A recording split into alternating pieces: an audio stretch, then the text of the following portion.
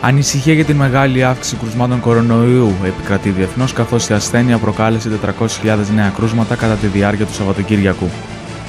Όπως διεμήνυσε άλλωστε και ο Γενικός Διευθυντής του Παγκόσμιου Οργανισμού Υγείας, επισημένοντα παράλληλα πως δεν έχουμε φτάσει ακόμη στην κορύφωση της πανδημίας.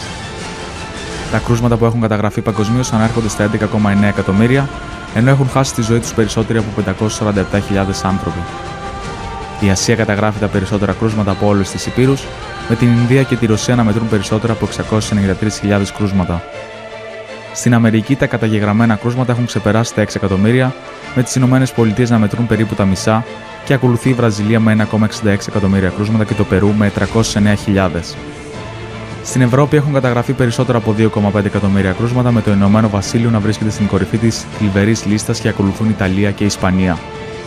Παράλληλα, οι περισσότεροι θάνατοι διεθνώς καταγράφονται στις ΗΠΑ, όπου ο κατάλογος μετράει ήδη περισσότερους από 131.000 νεκρούς και ακολουθεί η Βραζιλία με πάνω από 66.000 θύματα.